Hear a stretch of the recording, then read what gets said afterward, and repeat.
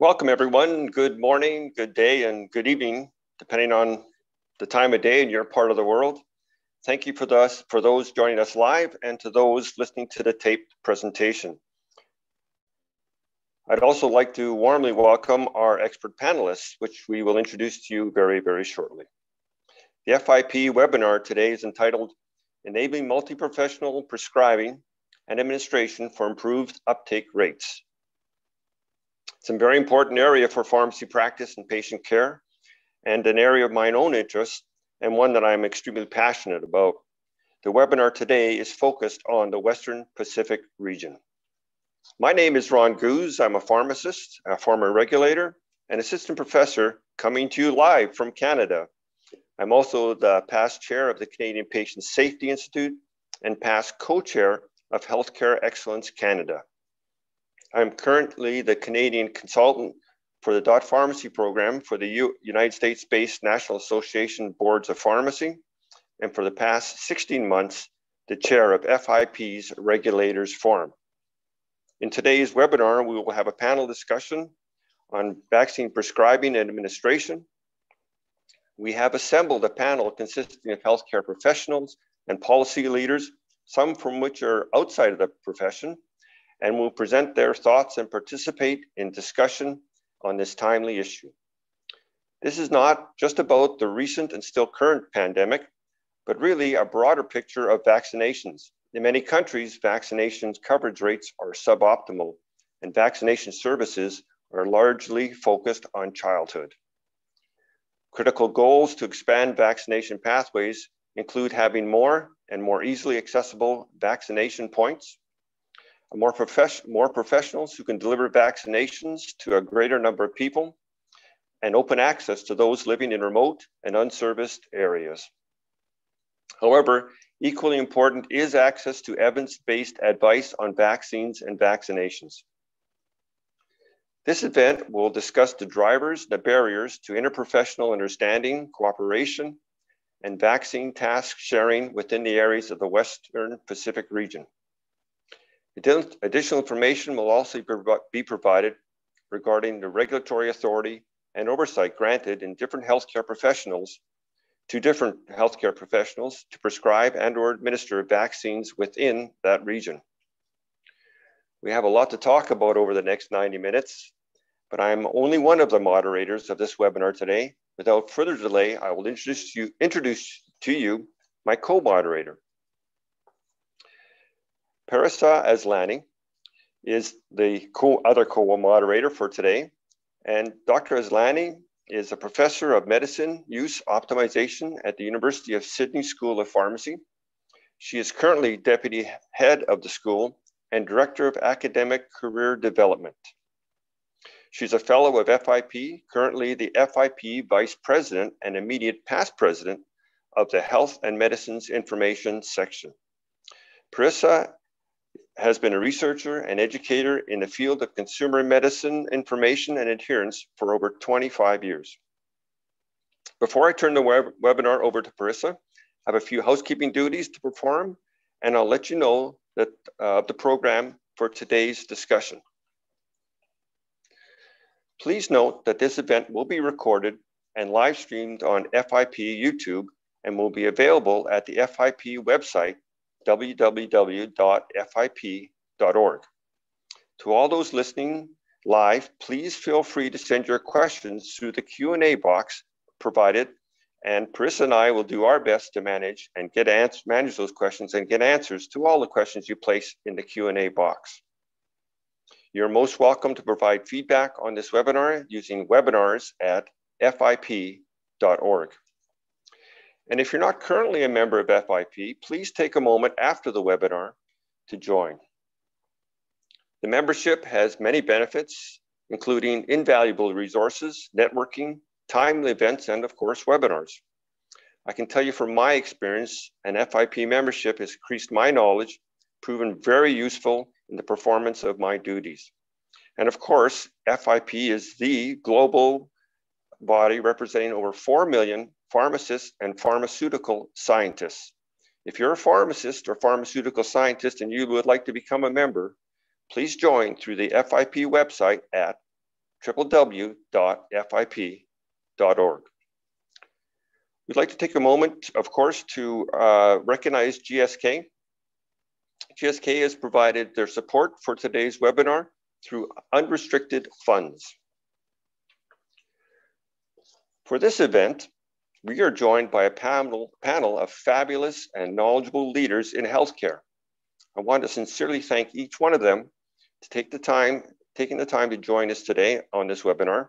And Parisa will do the introductions right after I describe the program and remind you of the learning object objectives. Well, the program is really straightforward. Uh, we'll introduce you to the panel and get right to the roundtable and panel discussion. We'll have time at the end of the uh, presentation for questions that you have placed in the Q&A box. And we will have some closing remarks before we finish and bid you farewell and best regards. Our learning objectives are listed on this slide, and they are to identify drivers and barriers related to the regulatory landscape of vaccination in the region, we want to learn about examples of best practices in terms of interprofessional cooperation and task sharing involving pharmacists in the area of vaccination. And finally, explore the plans for switching from a pandemic to an endemic response in this region, including the role of pharmacists in vaccination and in patient care and treatment. Now, I will welcome my co-moderator, Parisa. Over to you, please take over. Thank you very much. Great. Thank you very much, Ron. And good evening, good morning, good afternoon. Welcome to everyone who's zooming in um, to listen to our webinar. So my task is to introduce our panelists today, and we have got some excellent panelists from across the Western Pacific region for you. Amrahi Buang is the current president of Malaysian Pharmaceutical Society. He previously served 35 years at the University Malaya Medical Center in Kuala Lumpur as its chief pharmacist and deputy director professional. Mrahi is a member of the Malaysian Pharmacy Board, Malaysian Poisons Board, National Antimicrobial Resistance Committee, National Patient Safety Committee, and National Medicines Policy Steering Committee. Welcome, Amrahi. Our next panelist is John Jackson, who's the president of the Western Pacific Pharmaceutical Forum, which is involved throughout East and Southeast Asia and the Pacific in the enhancement of pharmacy practice. WPPF partnered with the European Union Asian Build Business Council, KPMG, and Sanofi in workshops throughout the region, leading to the publication The Role of Life Course Immunization in Healthy Aging in the ASEAN region. John is also a member of Immunization for All Ages Roundtable working to protect, progress, and expand immunization. Welcome, John. Our next speaker is our next panelist is Dr. Michael Moore AM, who's a member of the Order of Australia. He's the former CEO of the Public Health Association of Australia and is a past president of the World Federation of Public Health Associations and is currently chair of its Global Task Force on Immunisation. Michael is a distinguished fellow at the George Institute for Global Health and is an adjunct professor at the University of Canberra in Australia and was formerly a teacher and consultant. Michael was Australia's first independent minister when he was appointed as Minister of Health and Community Care. Welcome, Michael. The next speaker, Professor Tony Nelson, is chair of the Steering Committee of Immunization Partnership in Asia Pacific, which organizes the biennial Asian Vaccine Conference. He's a member of the Rota Council since 2012. He participated in WHO's SAGE working group on maternal and neonatal tetanus elimination and broader tetanus control. He's WHO's expert um, in group on quantitative immunization and vaccine related research. And he was a technical advisor for supporting independent immunization and vaccine advisory committees initiative. He's also a professor at the Chinese University of Hong Kong. Welcome, Tony.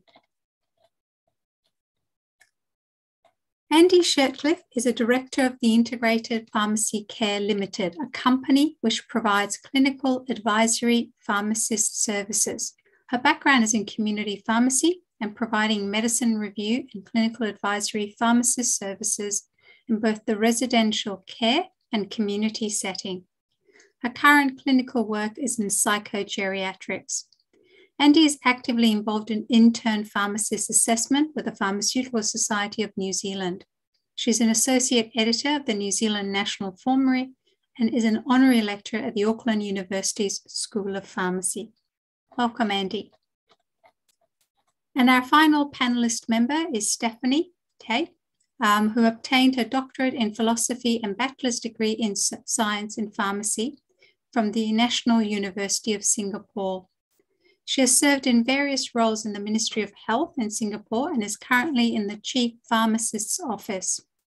At the Chief Pharmacist's Office, Stephanie has gone back to her pharmacy roots and for the last five years has been working on pharmacy related initiatives, including COVID 19 issues.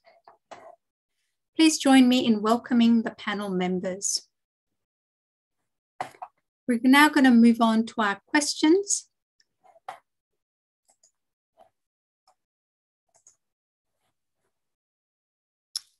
Great.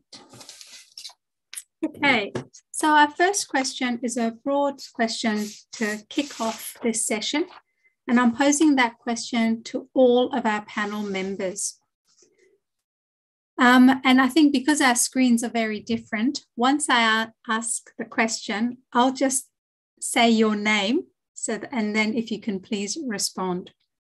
So the first question is, who are the main providers and locations of vaccine services in your country or region? John, may I start with you, please? Thank you, Parisa. It's a great pleasure to be here. And uh, it's a challenge to answer that question because I sit here as president of the Western Pacific Pharmaceutical Forum, and in that role, I don't take a single country perspective. I note that we have a number of attendees from outside the Western Pacific region, which is wonderful, and for their benefit, I would just point out the region is very diverse in terms of healthcare delivery. Uh, we include countries such as China with massive populations and sizes, and little island states like Niue, which has a very, very small population and very isolated. So the question there, Parisa, of, of, of who is responsible or how is vaccination provided, it depends upon the country. In some countries, it is very much a public health program, and that's particularly the case in the very small countries in those countries that have got advanced and developed healthcare systems, we've got a combination of government provided programs, particularly for childhood immunisation, and more private sector vaccination programs for people who may be wanting travel vaccination uh, or um, vaccinations through the life course.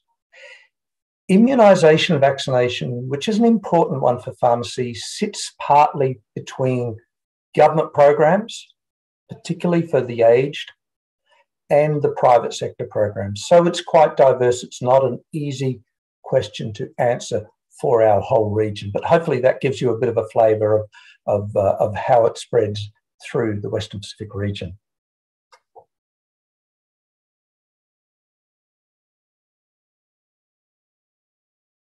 Thank you very much, John. May I pass on to Andy to give us a perspective from New Zealand? Uh, thank you. Um, in New Zealand, to pick up on some of the points that John raised, we have a mixture of privately funded vaccinations and publicly funded. Um, all of our childhood immunisations are publicly funded and historically have been um, the main provider has been general practice teams and historic, and we've had occupational health uh, teams uh, vaccinating workplaces and workers via a private market. We've had some school based programs. Historically, the pharmacy role has been um, mostly a private market and mostly influenza vaccination. in the last few years, that has shifted to an increasing amount of contribution to publicly funded influenza vaccines. And uh, COVID, our COVID vaccination program, um, I've been uh, uh, humbled and honoured to be the clinical pharmacy lead for our national COVID vaccination rollout program in New Zealand. And uh, as of last week, uh, community pharmacy was our largest public, uh, all, all of our COVID vaccines are publicly funded, and community pharmacy is our largest COVID vaccination provider. Um, so the landscape here is truly changing as a result of the pandemic that we are experiencing at the moment. And um, we have um, 45% of our community pharmacies providing half of the vaccines. So very high level summary. Um, historically general practice, mix of public and private, but it's changing. Thank you very much. Michael, may I ask you to tell, um, answer this question around the main providers and locations of vaccination services? Yeah, uh, thanks very much, uh, Parisa, and it's good to be here. And let me acknowledge that I'm on Indigenous land and uh, I'm uh, on the land of the Ngunnawal people, and I pay my respects to their elders past and present. Um, and I mention that specifically in this light because uh, the way our Indigenous people are vaccinated is often quite different from uh, others, but we have one of the highest vaccination rates in childhood vaccination amongst Indigenous people. It's one of the very few uh, health good stories uh, for Indigenous people.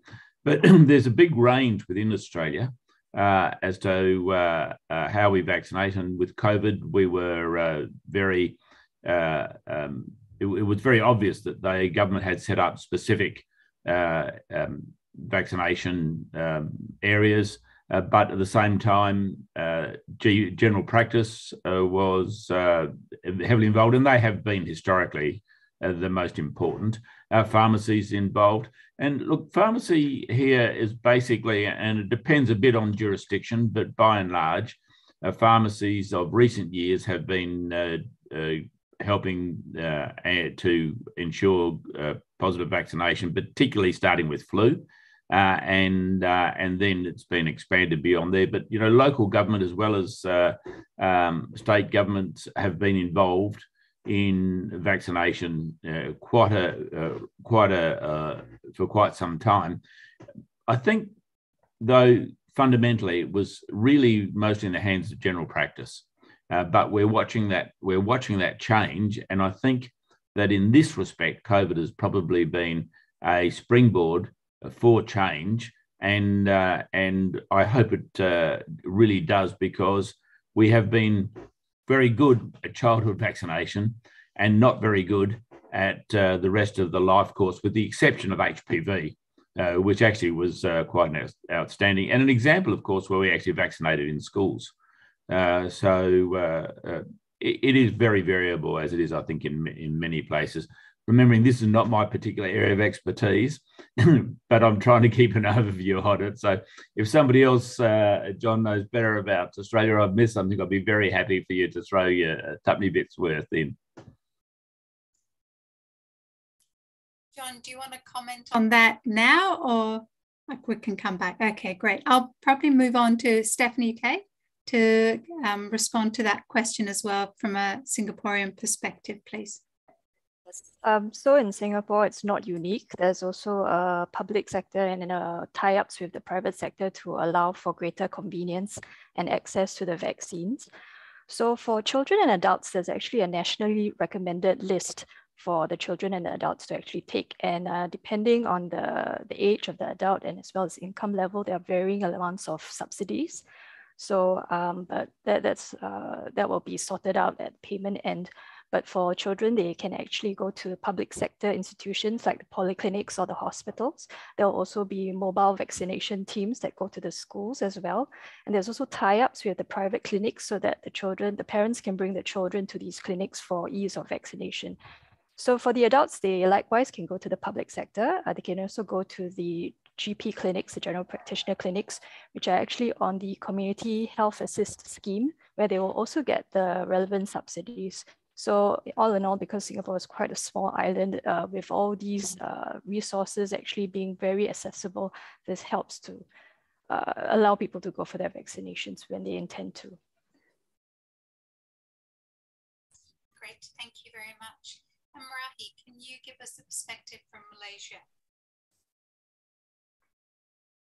Uh, thank you, uh, Parisa. I think uh, the situation is, is not very different uh, in Malaysia.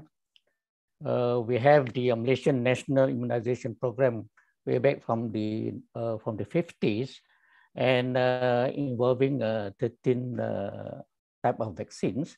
And these are all given free by the government. Right? And as far as for the adult, it's still something that that as as, as we can see, uh, is uh, the is not funded by the government. So it's basically done by the uh, private healthcare facilities, by the GPs, and also uh, private hospitals, etc. And uh, also uh, in terms of the coverage, especially for the kids, it's actually across the board, meaning that it covers the whole of, of Malaysia uh, be it uh, from the from the main town, the cities, as well as for the uh, suburbs and also the rural areas. So I think uh, we are we are pretty okay uh, with the uh, with the kids vaccination, but not for the adults. So this is something that, that we can explore, and with COVID coming in, and there are a lot of opportunities for us to move further, and this is something that we look forward uh, in the future. Thank you. Thank you. Thank you very much. And Tony, lastly, tell us about the main providers and locations of vaccination services in your region. So, speaking with my hat for immunization partners for Asia Pacific, I guess my comments are similar to John. It's obviously very diverse um, and uh, very different health systems and different uh, mechanisms. Um, I think to me, one of the big issues for that diversity of different countries also relates to uh, who pays and how it gets reimbursed. So my understanding for Australia, um, although a lot of vaccines are publicly funded, they may be administered by, uh, as already been mentioned, by general practitioners or, or maybe now pharmacists, but they would um, claim back from the government. Um, so the sort of public-private interface is somewhat interwoven. Uh, Singapore, I think, is, uh, uh, as Stephanie's mentioned, has a quite a innovative and complex system where there's um, different levels of insurance and there's the polyclinics and the um, and the government services. But if you want to use your own sort of health insurance, whatever, you can go private and, and, and buy it. Um, I guess my experience from Hong Kong, which is my other hat, um, is somewhat similar to Singapore and maybe Malaysia to some extent and uh, Sri Lanka um, and maybe even New Zealand slightly, where the uh, public and private is um, quite uh, separated. So if it's a government funded program, uh, you have to go to the government centre to get the government vaccines. Uh, if you want to go private, um, then you pay out of pocket or you pay with your own health insurance. Um, and you don't, and you can't claim back anything from government. So so it's sort of totally ring fenced. And, um, and I think that different funding mechanism very much influences um, who wants to give vaccines. So if the pharmacists can't get reimbursed, then um, you know maybe they are less enthusiastic to give it in the private sector. With um, uh, so so yeah, so I think the the countries and um, that have a totally government funded system, you know, free of charge to the recipient, um, we do see a, a, difference in terms of who gets vaccines. The final point I just make is um, think HPV vaccine was brought up in Australia, but um, and being a school based and being very successful, uh, I think Malaysia has also had a fantastically successful school based program. So, so I guess whether it's the pharmacist or the nurse or the doctor who gives it at school, to me doesn't matter. But I think the bigger question there is um, recognizing that some vaccine programs, location is more important than who actually gives it. So I'll, I'll stop there. Much. John.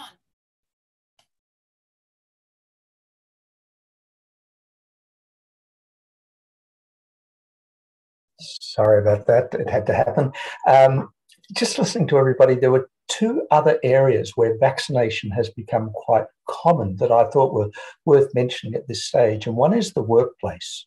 And we saw it start with workplace immunisation for influenza, which became a, almost an employment benefit for people, but also obviously delivers uh, benefits to the employers of having a healthier workforce. And of course, that's become um, uh, notable also with uh, COVID vaccination, which sometimes has been administered in the workplace. The other location of vaccination is, of course, in residential aged care facilities. And uh, again, uh, COVID has uh, heightened the need for that age group and created the opportunity to deliver in that location. So there are just two other areas I thought worth putting on the table at this stage. Thank you very much, John. Um, and I agree, school definitely provides a good captive location for vaccination and soon the work environment will probably be like that as well for adults in that captive environment to get people vaccinated.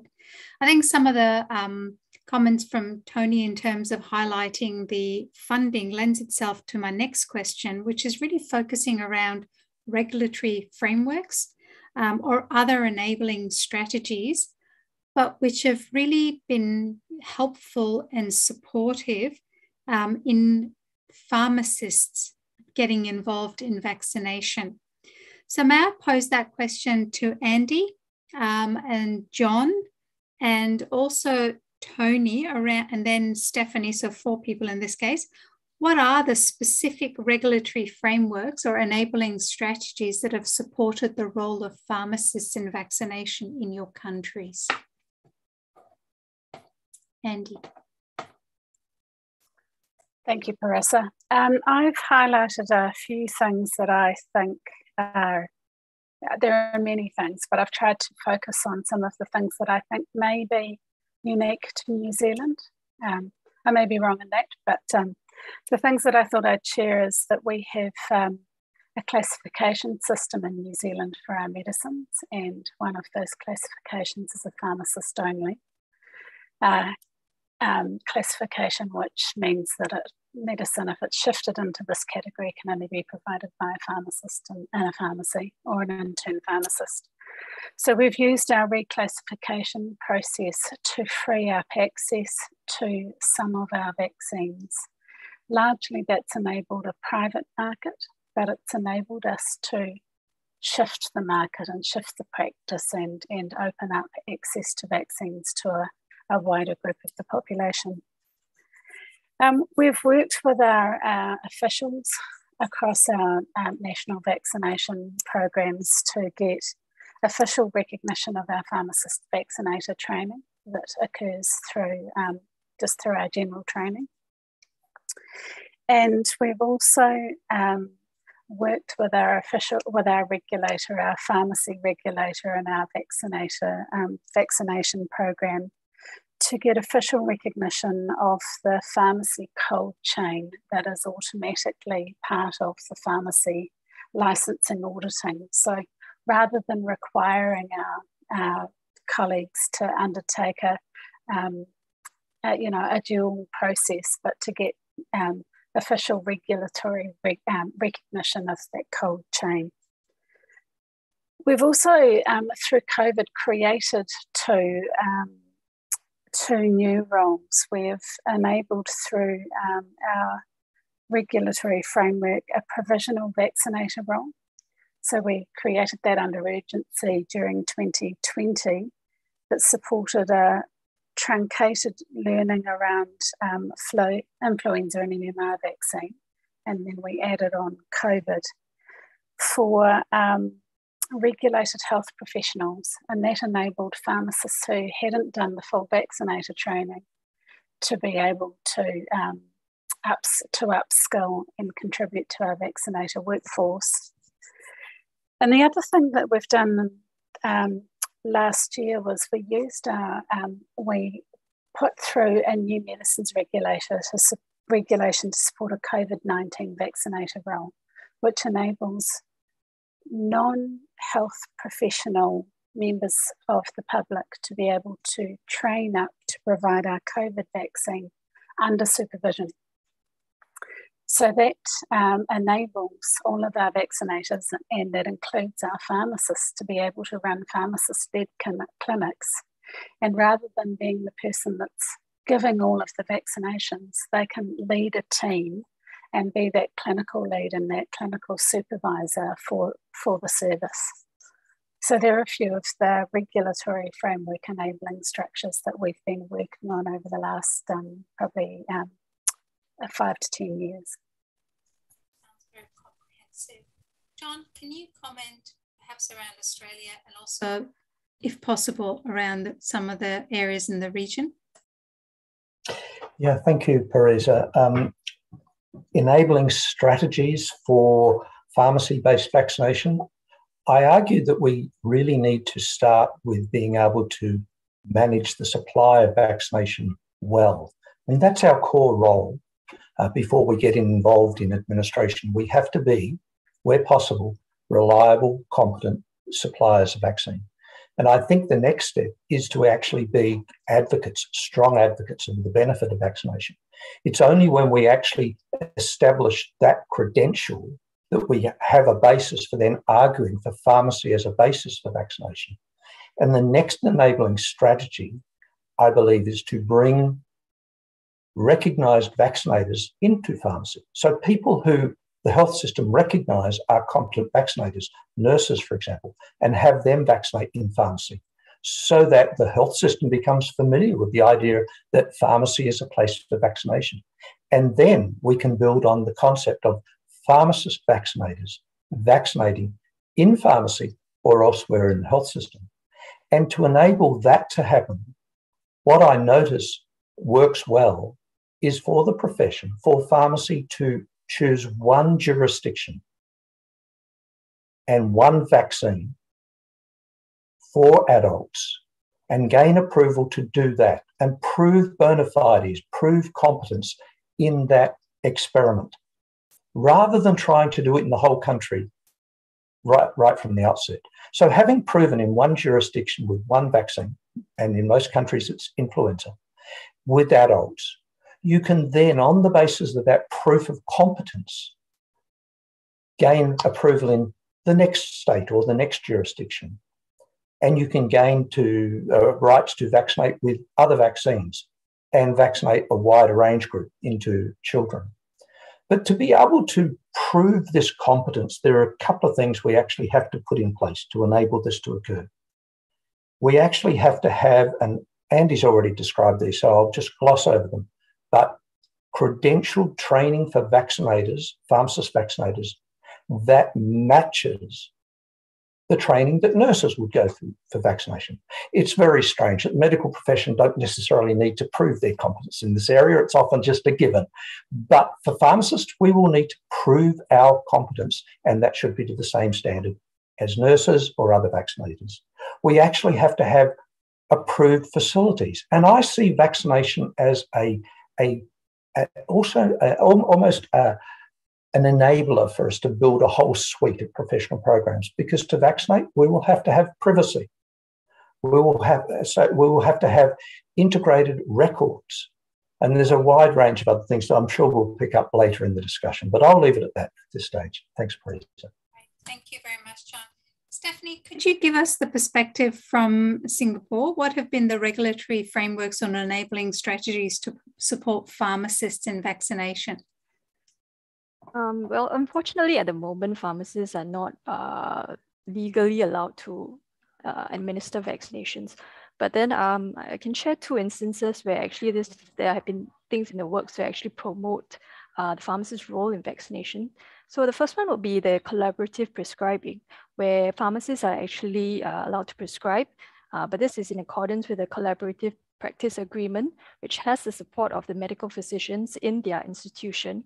So I think one of the questions was asking about the acceptance of such prescribing uh, uh, by pharmacists. And I, I, must say that in the, especially in the hospitals where the doctors are really uh, overworked and they are quite glad to have the pharmacists help out and actually doing this prescribing of vaccines in their stead. So that is one. Uh, second one also similar to what Andy has described uh, during COVID, um, when the, all the vaccination centers for COVID vaccinations were sprouting up across the island, there was actually a call for healthcare professionals to step forward to actually help out. And so this included pharmacists and the roles accorded to them actually also included vaccination. Uh, there, there were not many, but uh, this was a one step. Uh, and actually there were regulatory exemptions made to allow for these pharmacists to perform the vaccination. So these are just uh, two instances where we're hoping to move towards that direction in Singapore.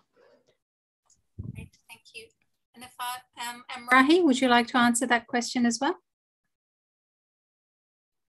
I think uh, I, I, I really agree uh, with the, the input from Andy uh, Johnson and uh, John and uh, Stephanie. And I think I just want to share a thing that's happening in terms of the whole uh, vaccination program. I think we have to be you know sure that you know that the pharmacist plays a very big role in the vaccination program, in the national immunization program. I think uh, we have to we have to we have to look into where you know when the regulatory com comes in, you know, because in Malaysia, I think in all other states also, the involvement of pharmacists are very real, and and something that that we we good we, we look into the importance of you know uh, making a say registration process, for example. You know, you cannot have uh, the vaccine inside any country especially in Malaysia, without being registered. And our colleagues uh, as, uh, as regulators are doing a very fine job, you know, to make sure that they are of quality, uh, safe and uh, efficacy, you know. Uh, that's, that's one big role that, that, that the pharmacist has played in any uh, national immunization program. Advocacy, like what John says, really huge, you know, because even, even from the point of myself, uh, PFMPS, yeah, we did a lot of advocacy program right when we start, uh, when even uh, even before the vaccine, uh, you know, came in, you know, we have to prepare uh, the, the people that vaccination is imminent and we have to actually do it, you know, and then uh, and then when uh, when the thing happens, we talk about logistics, you know, and the and the road and the pharmaceutical, you know, logistics, they really uh, it's really really huge, you know, huge. And I think Stephanie also mentioned about the, you know, the one in the vaccination center.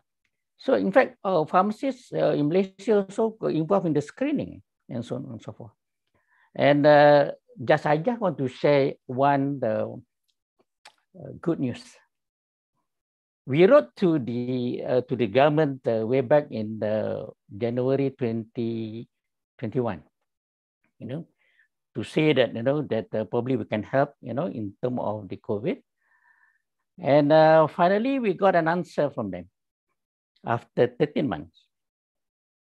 So now uh, I'm glad to uh, to announce that under the uh, what you call under under the initiative what we call as the public uh, private partnership, the Ministry of Health agreed through their company, we call it the Pro Protect Health Corp operation and allow train the pharmacy vaccinators to actually give uh, COVID uh, vaccine in the vaccine center. So that is the latest I want to share with all of you. Thank you. That is great news. That's very good news. And Tony, I promised to get you to answer this question as well. And you gave us a broad overview of the funding models. Is there a broad overview of the regulatory frameworks in the region? Well, maybe I'll be a little also... bit more philosophical. Um, I mean, why do we have regulation, I guess? Um, and I guess we would like to believe it's to keep uh, patients safe and to um, make sure that competent people are giving the vaccines and maybe to protect patients who have an adverse event and need resuscitation or uh, these may be some of the reasons behind it. Um, but I think COVID's obviously been very interesting in that um, I think Andy sort of indicated that suddenly regulations can be changed because we suddenly realize that these wonderful regulations we had actually didn't really need to be there in the first place because we can actually do something differently in a different way. So, so I guess that begs the question, uh, you know, sometimes uh, regulations are there to protect sort of certain professional groups or others uh, from encroachment uh, of their patch. And I guess this particularly implies maybe in the private sector, uh, where um, so, so, sort of with my sort of Hong Kong hat, I mean, my understanding to some extent, uh, only doctors are actually able to give vaccines, but the nurse can do it under sort of doctor supervision. So, you know, so the sense of, um, you know, a patient collapses from an anaphylaxis that there's someone there to sort of resuscitate or whatever. But, um, but I, have had some difficulty getting that uh, legislation. So I'm, I'm, not sure whether that's 100% correct, but um, I think the point I'm making is that, uh, you know, regulations can sometimes appear to be overly stringent, um, maybe for not good reasons. So, so I think we have to maybe look at that a little bit in terms of, uh, you know, why are they there? Um, you know, is it really to protect safety and um, and adverse events, or is it maybe for some other reason? Great, thank you very much, Tony. So, in the interest of time, I'm going to pass on to Ron because we've got quite a number of other questions still to ask. So, over to you, Ron. Thank you so much. Uh, great discussion. I'm trying to take some notes and uh, watch what's going on in the chat and uh, uh, the question and answers. And I haven't got enough fingers or enough mental capacity to follow it all, but it's a great discussion. So I'd like to take us over to the idea of uh, where you can describe some best practices, uh, maybe in your country or in your region, in terms of the interprofessional cooperation and task sharing involving pharmacists in the area of vaccination. We've had some comments already uh, about that, but maybe a little uh, a deeper dive and, and maybe perhaps some examples about that collaboration. Some uh, great news from Malaysia and uh, what's going to be happening there very soon. Uh, but uh, I'll turn it over to John if you can start us off on that with respect to best practices uh, please. Best practices in interprofessional collaboration. Look, I think uh, if I consider and picking up something Tony said, uh, the the comments made by the medical profession about pharmacist vaccination, uh, we need to be able to address those, and that will create the best practice. So the comments are things like uh, competence, uh, having appropriate facility. But a, a very important one, and I totally endorse their comments, is that if pharmacists are going to administer vaccines, we have to be able to get the record of the administration into the patient record that the GP holds, the medical practitioner holds. So, best practice is for our profession to integrate practitioners who, rightly, are the uh, person able to uh, best manage the patient's comprehensive care. So we've all got a, a, a, role to play, but we shouldn't be trying to do this aside from not connected with the patient's GP. So best practice for me is ensuring that we can address all of those concerns that the medical profession have expressed by having competence, by having appropriate facilities, and providing integrated care.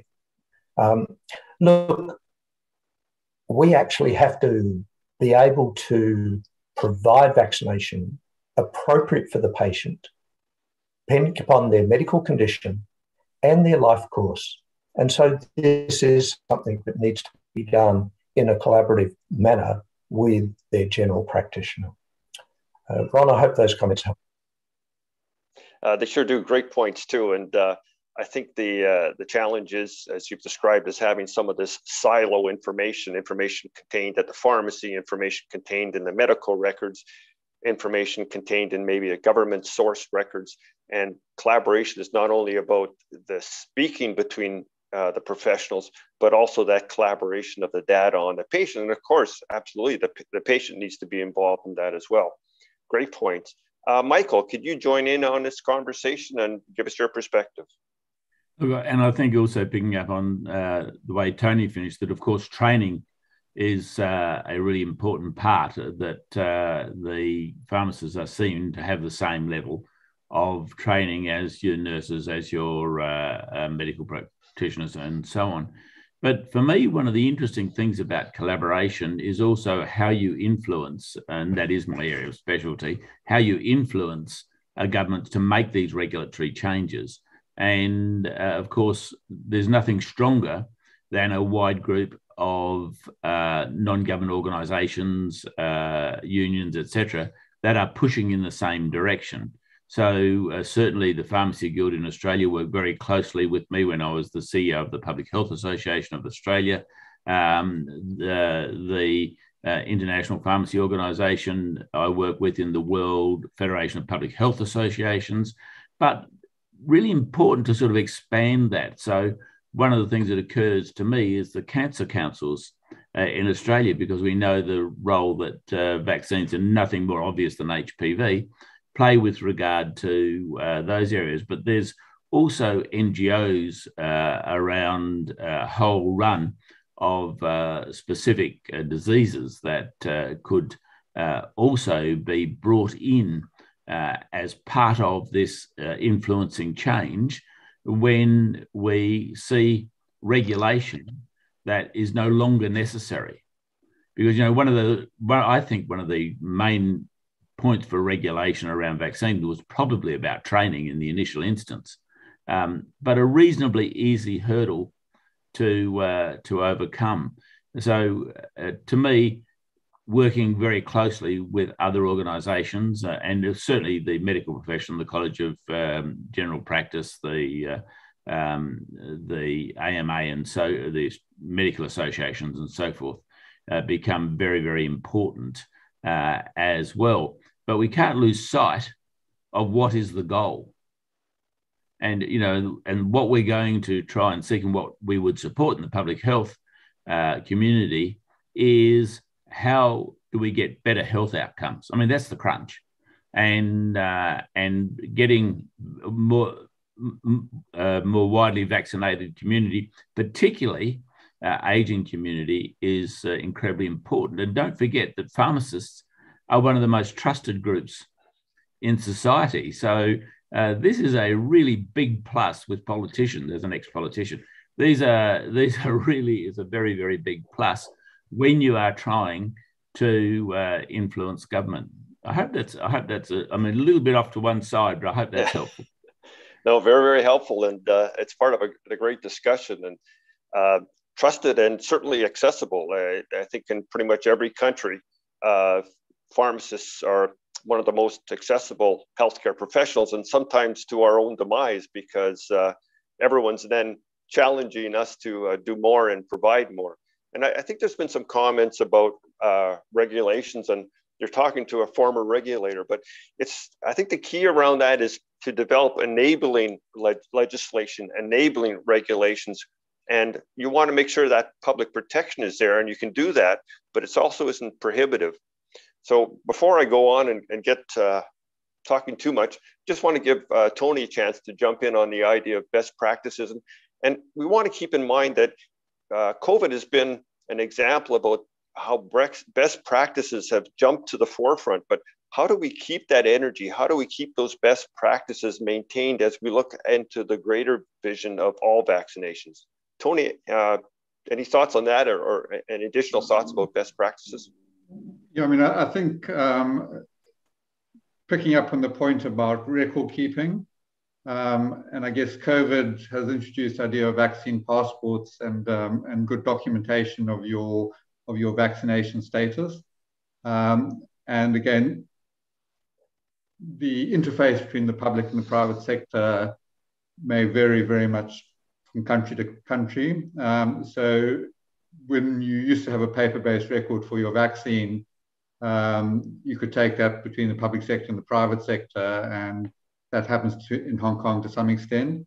But increasingly, obviously, vaccines are going into databases and onto QR codes, and um, so it really depends on each country in terms of whether they have the uh, IT infrastructure to seamlessly put that vaccine into the system. And obviously, you've got to reassure, I guess, the population in terms of their privacy and uh, and other things about such systems. So so I think it's, an, it's a very complex area, but I think, you know, for fully integrated um, interplay between public and private sectors, pharmacists, you know, nurses, doctors, you know, different people giving vaccines, um, the patient probably wants a reliable record and that has to be somehow unified. Thank you very much, Tony. And uh, I'm going to, uh, full disclosure, not be as not be as good with uh, technology as Parisa was. And if there are some uh, of the panel that want to join in on this, just open your mic and please uh, join in. And if everyone joins it at once, we'll be respectful and allow someone to go first. But if not, we can certainly move on to the next question that I will want to hear from the panelists. I think we have Amrahi with a raised hand. Yeah. Yes, please go ahead and please. Yeah, thank you. I think I, I would like to share a few uh, incidences where actually COVID have changed the whole uh, picture uh, regarding the role of pharmacists. Yeah, I think uh, with uh, with close collaboration with uh, with doctors and so on, when we talk about the the provision of telemedicine and also the provision of telepharmacy, eh, the use of digitalization, and if you notice at the moment now, uh, when we are actually uh, facing the Omicron wave, yeah, sort of actually uh, doing home, uh, what you call um, quarantine, even though they are positive, right? And that's where the role of pharmacists are very important with the concept of self-care. How do actually we educate? You know, they, we educate the, uh, you know, the population or in the community where they are now going uh, on quarantine, but to manage, you know, uh, during their country. So these are all very important, you know, uh, things that the pharmacists can do. And the whole idea is actually to building trust of the pharmacists uh, within the community. So when that trust has been built, so I think the move towards when we do the vaccination, you know, it was something that that that that can be done easily. So this is this is this is very relevant when you talk about the, the booster dose at the moment, you know, where we actually have to do further advocacy uh, in terms of booster dose and so on. So these are areas where I want to share, you know, to make sure that, you know, that the role of pharmacists is still really relevant uh, in vaccination. Thank you. Thank you, Amrahi. And I now I see a hand waving and it is uh, that of Andy. So Andy, please join in.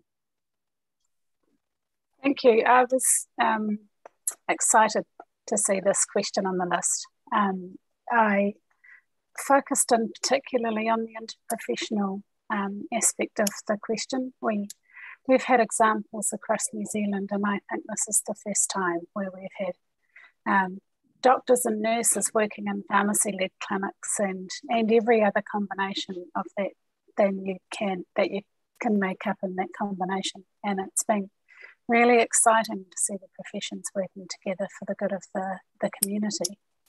But a couple of specific things I was I've been really quite um, keen to share. Um, in New Zealand, we've had examples of um, where our pharmacists have really focused on um, operating mobile services out from a, a, their fixed premises and going out into communities, working in our local uh, marae which would be our local Māori community community hub, working with uh, um, tangata whenua Indigenous people, We're working in Sikh communities alongside welfare services and food package services and providing vaccinations and in, in the, the, those people's communities. Um, uh, going in to gang communities and providing vaccinations with, with gang members and their families in, in their trusted environment. And it's been, we, we've had a really real push on no door being the wrong door. So rather than focusing on traditional sites and traditional um, realms, but instead providing vaccinations for people from someone they trust and a place that they trust. So focusing on the outcomes and what mean, what's important to the population. And it's been really exciting to see the shift, and we're working quite hard at a system level to make certain that our system retains those fabulous advantages, advances, sorry, but they are advantages as well. Great comments. Thank you very much. And I just maybe want to uh, uh, yeah, spring in uh, on, on Stephanie and, and, bring her in if there's some best practices you can uh, advise us of. But also, um, is uh, maybe speak about your experience uh, where there's been some known opposition in your area about pharmacists doing vaccination, or as someone said earlier, having actually the vaccinations in the pharmacy, not necessarily being performed by the pharmacy staff. It could be a nurse. Yeah, would you wish to report on that at all, Stephanie? Um, so at the moment, these are not uh, happening in Singapore because the regulation does not allow for pharmacists uh, administrating vaccinations. But I think one of the key concerns as well, I, I think there was talk about trusting the pharmacists. I think the issue is not so much trusting the pharmacists, but trusting the vaccine. And I, I trust that vaccine hesitancy is a very, very big issue in many countries. So regardless of how much trust someone has in their healthcare professional, I think first and foremost, the hurdle to overcome is whether they are willing to take the vaccine. Uh, whoever is actually jabbing in the arm. And I noticed also, uh, this was in the Q&A, I think some people have raised it as well. And I think um, even in Singapore, the, the rate of vaccination, for example, for influenza, for the rec recommended population of seniors is quite low. It's like a low 24%. And I think even um, um, the seniors do generally trust their healthcare professionals, but I think the issue is, do they trust the vaccine? and I'm not quite sure how, how this can be addressed. Maybe others from can, can perhaps share how they can overcome this. Uh, great points. And uh, I'll just pause for a moment if someone wants to speak about the vaccine trust. It does take us on to a little bit of a different area, but I think an important area nonetheless. Ron, while people are thinking about that, there's just two little points uh, I'd uh, like to make. And the first is the importance of national immunisation registers, um, because uh, that, uh, and I think that's self evident what I mean by that, and not just childhood immunisation registers. Um, the second element I wanted to, when um, Andy was talking about cross professional things, we have a fantastic model in Australia with Aboriginal medical services they are already, uh, and I think it's the same with uh, some of the Maori ones in New Zealand, but uh, they already work right across the medical professions and do it in a really positive way. Uh, and I think there's a lesson to be uh, learnt there as well. Thank you very much, Michael. And I see John with his hand raised. Please go ahead, John.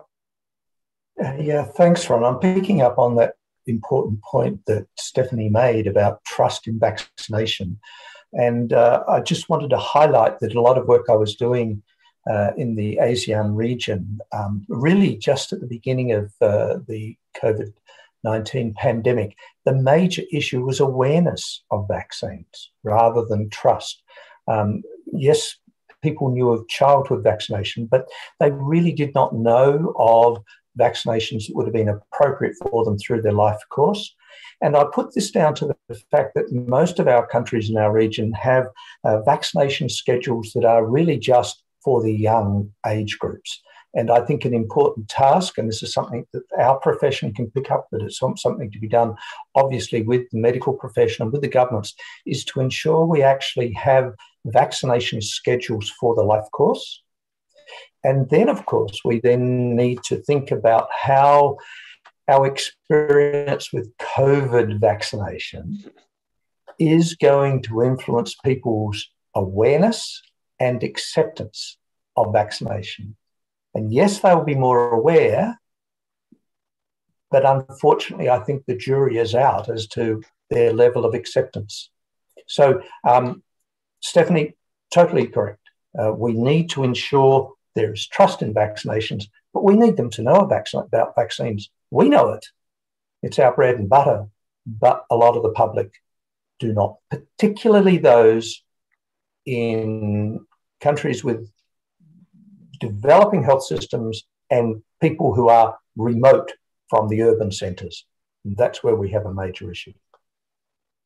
Yeah, a great point. And uh, one of the things we did uh, want to cover is not so much, well, it's important, obviously, but the farms pharmacist being the source of or the pharmacy being the source of the poke in the arm, but also the source of that information. Um, I don't want to get too grandiose, but that source of truth where we're being a trusted profession, we can also be trusted for telling them the uh, information that they need to know about the vaccinations and uh, allay those concerns. But I'm not supposed to be talking, so I'll turn it over to Amrahi. I see you have your hand up as well, please. Yeah, I just want to respond to the, the issue uh, raised by Stephanie just now in terms of vaccine hesitancy. You see, in the Muslim population, yeah, uh, halal is actually an issue, all right? And uh, actually the government of Indonesia and also uh, Malaysia and Brunei, you know, uh, we actually take it as a very, uh, take this very seriously. So meaning that, you know, with the input from the pharmacists, we are able to actually give the input, you know, to the government saying that, you know, that this is something that uh, that is not an issue, and uh, and the Muslim population actually can take it. So this is uh, the point that that that that we have done actually in Indonesia, uh, Malaysia, and even Brunei to make sure that you know that that this aspect has been tackled. Thank you. Uh, great comments. Thank you. Um, I want to move us a little bit into the discussion of uh, pandemic moving into endemic, and uh, you know, not to be too presumptuous to say we're at that point, um, but in all good planning, um, we need to have that uh, discussion and raise that level of awareness among the community, the patients, but also how do the systems uh, uh, evolve or shift uh, to address the endemic when we have sort of known uh, virus, known impact, no uh, likely patients being affected, patients populations, as opposed to not knowing what's going to happen the next day, we have a better understanding of what's happening when we get to that endemic process. Now, I'm wondering, um, I see John uh, might be interested in leading that conversation. Uh, I don't want to put you on the spot, but if you want to lead us on with that, and then I'll watch for the hands as they come along. Thanks, Ron. Yes, I think we are at a very interesting stage. Look, it's, there's no doubt that the pandemic has stimulated pharmacy and its role in vaccination. Uh, I can cite the Philippines, where we now have had training programs for pharmacists to administer vaccines, but not so much in the pharmacies, but they've been engaged in programs uh, that are being run in basically public health programs. Um, we've seen a heightened awareness of vaccination uh, through the as a result of the pandemic. The issue that I am personally concerned with is a lot of this um, capacity for pharmacists to be involved with vaccination that has arisen from the pandemic was enabled through emergency regulation.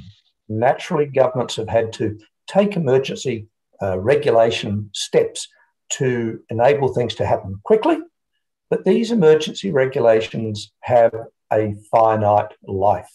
And unless we are um, diligent and ensure that those emergency capacities that we have for the administration of COVID vaccine are translated into permanent regulatory change, we may well lose some of the advantage we have. So that's a task for us at the moment. And one of the things I do note is that uh, to obviously bring the profession into vaccination in a number of countries, the funding agencies, be they government programs, be they insurers, have funded pharmacists to administer COVID vaccines. But again, this has been through an emergency arrangement. And as a profession, altruistic as we are, keen to be involved and build our practice, we can only administer vaccines if it is a viable part of our practice. So we do need to ensure that what has been established through COVID as support for pharmacy administration of uh, vaccine, whether it be pharmacists administering in pharmacies or pharmacists administering in public health programs outside of pharmacies, we need to pedal very fast and hard to make sure that emergency arrangement becomes permanent. Uh, great point. Uh, I think we uh, certainly all can reflect upon that in our jurisdictions because of the changes that were done and with some immediacy and, and rightfully so. But now we need those changes to be, have some permanency as well. Um, we are getting a little bit short on time. I just wanted to uh, do one more scan on uh, hands up around the concept of uh, how we switch from pandemic to endemic, and then we will turn it back over to Parisa. Uh, Andy, please. Um, just two brief comments. John's made me realise that there is a very small silver lining to having quite old emergency legislation. It's required us to actually push through with pace uh, permanent changes. um, so uh, I haven't thought about that until now. So I, I, I thank John for that um, that uh, light shining for me. Um, I think one thing that um, that I would comment on is that, uh, for example, in New Zealand, we don't have all of our general practices providing COVID vaccines. We don't have all of our pharmacies providing COVID vaccines. And there's an element to the endemic aspect where we need to normalise this process of um, vaccination and, and um, vaccination being just an accepted part of good self care and having a range of providers and you can choose the one that suits you. So I think um, I certainly think in New Zealand we have still have a wee way to go in um, normalising that whole process, and that's part of living with with a new infectious disease. Thanks, Andy. Great comments, and uh, without keep or to keep my promise, I'll pass it on to Parisa, and she has uh, some additional uh, challenges and information for the panel. Thank you. Thank you, Ron. I also noticed Tony just had his hand up. Tony, did you want to make a comment on that last question?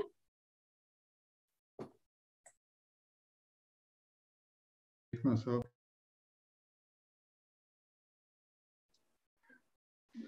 I think obviously a lot difference happened during COVID, and um, there should be a lot of uh, different practices that weren't there before. Um, I think we should always come back to, to me, one of the most important things is what is the most cost effective way to get the most vaccines to the most people.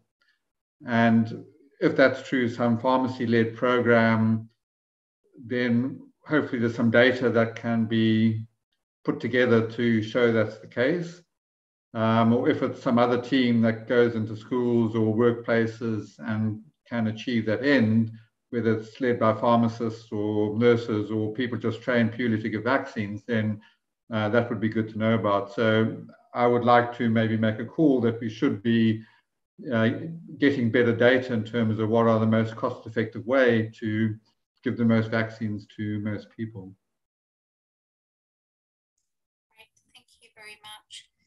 Um, so I have really one more question left to, to ask the panel. Um, and then after that, I'll be handing over to Ron to ask um, the questions that are coming from the audience. So to the audience, you've got time now to write some questions in the Q&A box if you can, please. So my last question is really around what can FIP do and currently, what FIP is already doing is providing resources to support change at country levels, such as advocacy tools, providing global data where available, guidelines, and practice support tools. On top of that, FIP organises such events and webinars as we're part of to increase that um, knowledge transmission FIP also has a number of key partnerships to advocate a broader role for pharmacy in vaccination, especially with organizations such as the WHO, where they can advocate for the role of our profession in facilitating vaccination services and improving vaccine uptake across the life's um, course. Now, there's also the Transforming Vaccination Program, which has been obviously quite key in the last two years, um, in supporting FIP members in accelerating programs of equity, access, and sustainability of vaccinations through policy development and implementation. And all of our work um, is in a website that I believe Gonzo has put up on the um, chat. So it's the prevention.fip.org slash vaccination, if you can have a look at that. So bearing this in mind, I open it to the panel what more can we do as the largest international organization of pharmacists to support pharmacists as well as the healthcare professional team in increasing the uptake of vaccination along the life course and involving pharmacists as a key healthcare professional? Who cares to touch on this subject first? Michael. Why don't you let the outsider come in first? Uh, Go for it. And, and, look, I already work with Gonzalo uh, at the uh, international level with World Health Organization. And one of the important lessons is not just to look after pharmacy, but also understand what your partners are looking for as well. Uh, so that it's uh, because pharmacists have such significant influence. It sort of touches on a question uh, earlier as uh, as well, but you'll probably come back to it uh, about um, how can how can we have more more influence. And I think that working with more and more partners is really important, but to do so in an each way, uh, you know, in a, in as any good relationship, it's a two way, it's a two way uh, street. And what is it that the World Federation of Public Health Associations are working on? Uh, for example, climate and health uh, and and so this is already happening uh, with the uh, um, with FIP uh, in some ways, but um, then you expand out to the World Heart Federation uh, and uh, and so on. So I think that's a really really important part of what's happening. We really do want to support pharmacists because we can see, as I think it was John raised before, both cost effectiveness. Maybe it was Tony cost effectiveness uh, and delivering to more and more people, but getting better health outcomes, therefore, uh, right across the life course to as many people as we possibly can, with a particular focus on low and middle income countries.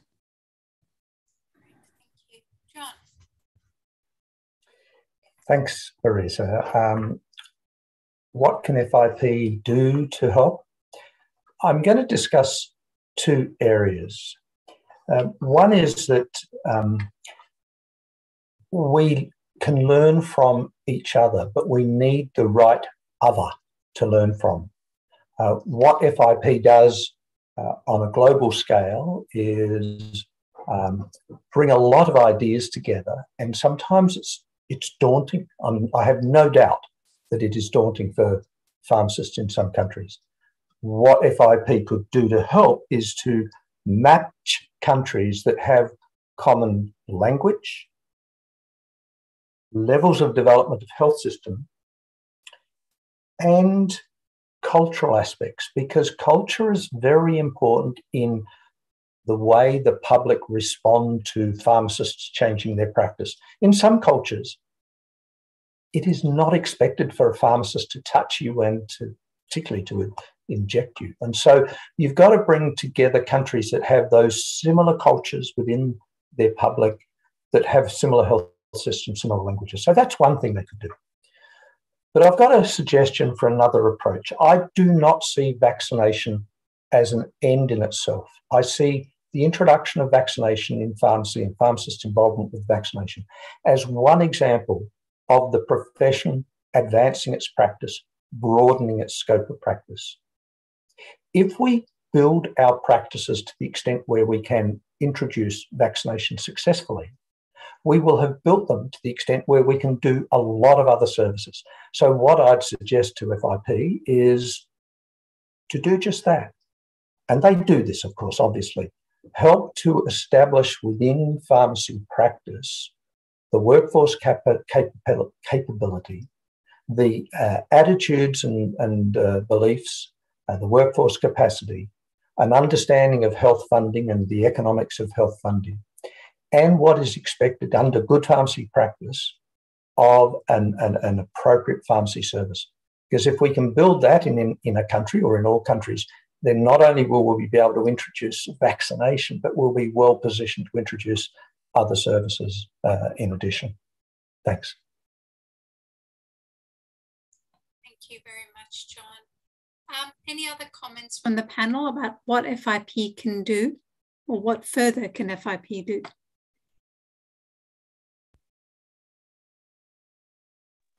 Okay. Uh, Um, so I'll just I'll just uh, jump in from uh, following up on Johnson. So there's a quiet moment, and that's just opportunity for me to open my mouth. I'm sorry, um, but I think I think John's got a, a great point, and also um, uh, as we heard from uh, in uh, in Malaysia, like there's different levels of, of, of, of how they're on moving along the continuum, and not only match that culture and uh, uh, language, uh, but also match where they are in the continuum.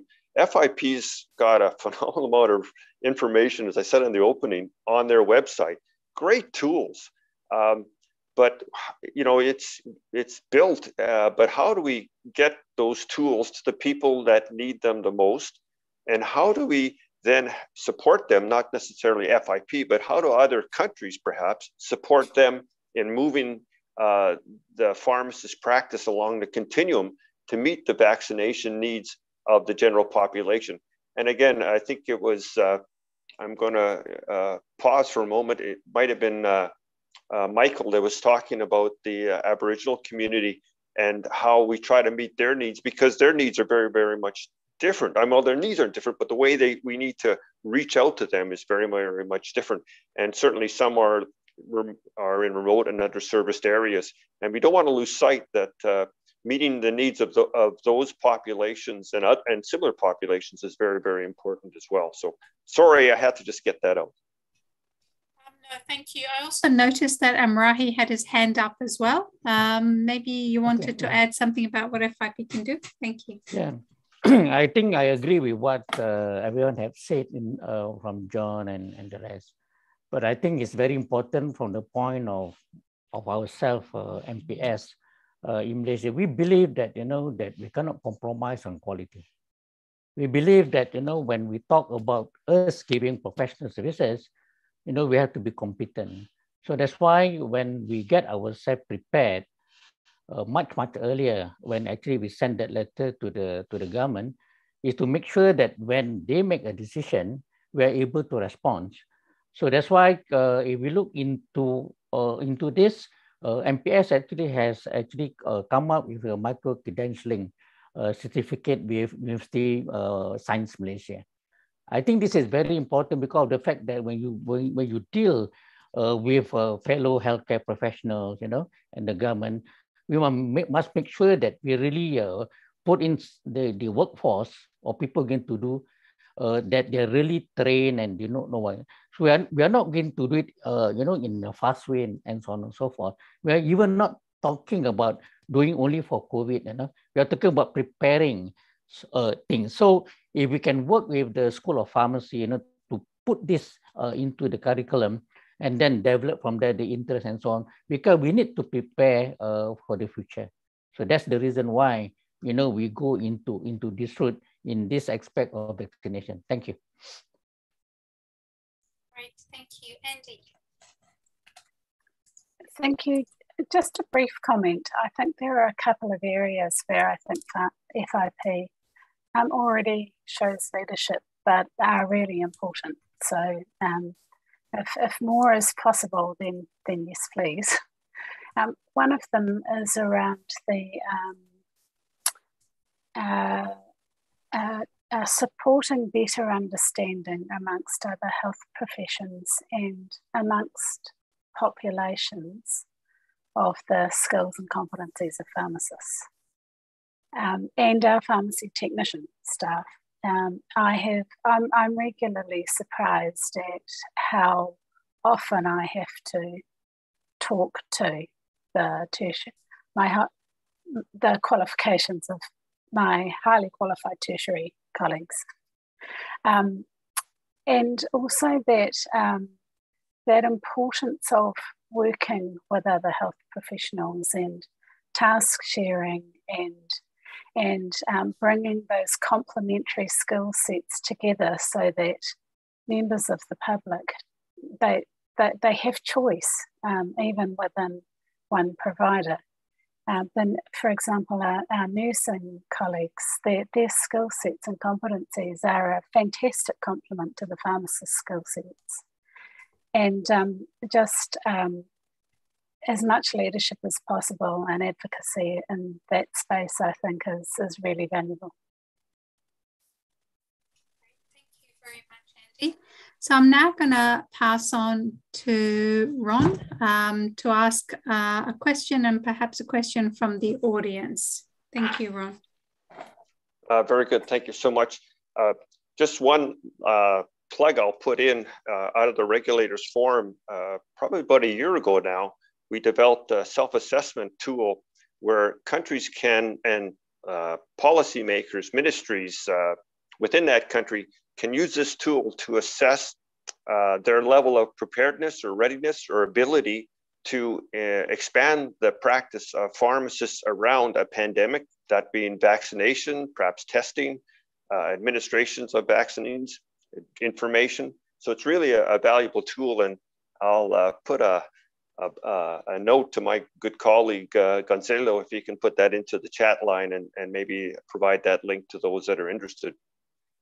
One of the questions that I saw in the Q&A is one about uh, vaccine hesitancy and uh, kind of the difficult issue when we have um, uh, our healthcare professionals, the frontline people, not necessarily just pharmacists, but uh, others as well. And maybe sometimes our uh, thought leaders uh, talking about vaccine hesitancy of their own concerns and how do we manage that um, as a, a regulator or a ministry or an oversight body, or maybe even the manager in that location. Uh, any thoughts from the panel on, on some best practices or some ideas on how that could be managed? And I'll be looking for some hands. Andy, please, thank you. And then we have John. I'll help help out with what first came to my mind, and that will give the others time to think. Um, I know that we had some hospital pharmacist managers across New Zealand who reached out to us at the ministry and they were having difficulties with some of their staff who were, um, in those early days, they were unsure about the, the science and how quick the vaccines were developed.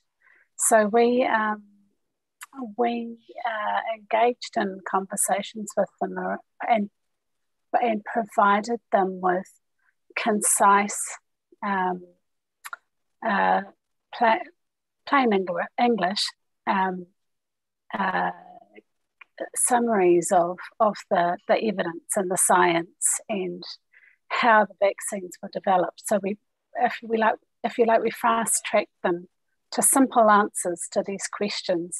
And I know that they workshop them amongst themselves before they had the conversations with their staff members, um, and they found that valuable.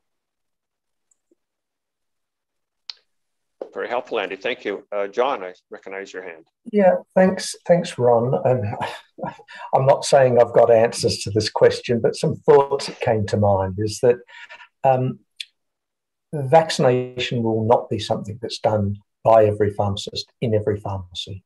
Circumstances will vary, uh, your patient group, uh, the nature of your practice. And so uh, there should be plenty of opportunity for people who, pharmacists, who are, are uh, hesitant about vaccination to work somewhere else other than a pharmacy that is committed to vaccination.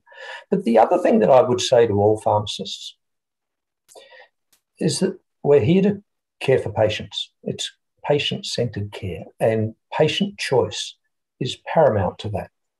Our great obligation is to do what's in their interest by providing them the best information available.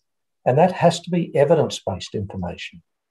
And there's a lot of information out there about vaccination, a lot of information out there about all parts of healthcare.